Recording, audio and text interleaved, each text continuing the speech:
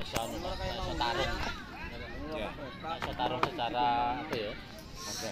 secara fair gitu maksudnya iya kan jadi lebih banyak ditunjang ini sih nah, menurut saya kalau mau tarung Ada di benak saya itu loh wong cicilan.